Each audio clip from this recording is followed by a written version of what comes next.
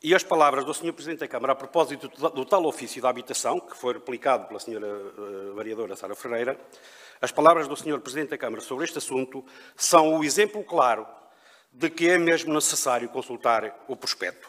O Sr. Presidente da Câmara já afirmou mais de uma vez nesta Assembleia o seguinte: em 2017, o anterior Executivo da Câmara Municipal do Barreiro disse à tutela que no Barreiro havia zero casos de necessidades de realojamento habitacional. Sucede que, se consultarmos os documentos, com facilidade constatamos que o Sr. Presidente da Câmara faltou reiterada e deliberadamente à verdade.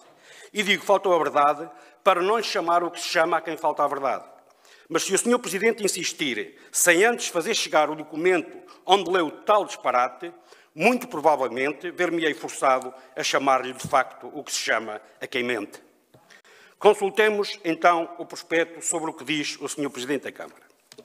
O ofício da Câmara Municipal de 5 de setembro de 2017, dirigido à tal tutela, que o Sr. Presidente lhe chama tutela, ao Instituto de Reabilitação Urbana, diz assim: O município do Barreiro, considerando os critérios cumulativos definidos pelo Instituto de Habitação e Reabilitação Urbana, não registra núcleos ou aglomerados habitacionais passíveis de se enquadrarem no referido levantamento.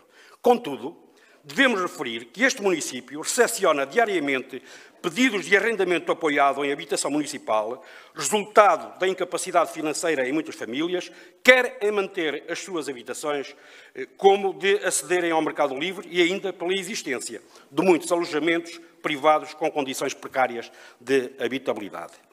Como complemento a esse ofício, em setembro, eh, que foi de setembro de 2017, mas ainda no mesmo processo, a Câmara Municipal volta novamente a, enviar um ofício ao Instituto de Habitação e Reabilitação Urbana e diz o seguinte: conforme tivemos a oportunidade de informar, continuamos a registrar carências habitacionais na área do município do Barreiro.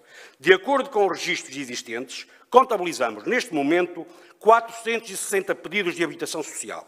E agora, digam lá, alguém de bom senso, alguém de boa fé, consegue daqui concluir aquilo que o Sr. Presidente concluiu? Não, não é possível. E muito menos alguém com as responsabilidades do Sr. Presidente da Câmara. Conclusão. O Sr. Presidente da Câmara falta a verdade. E das duas, uma. Ou o Sr. Presidente da Câmara partilha com esta Assembleia o documento onde se afirma que o Executivo disse à tutela que no Barreiro haviam zero casos de necessidades de realojamento habitacional, ou Sr. Presidente qualquer membro desta Assembleia se sentirá com legitimidade para lhe chamar o que se chama a quem falta a verdade.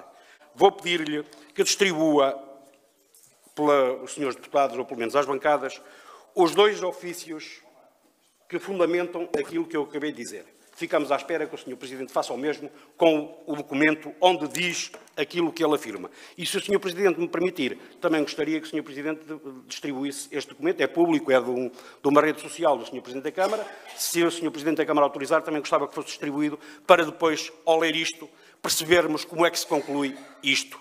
Vamos esquecer os partidos. O Sr. Presidente fala tanto de coerência, vamos falar a verdade.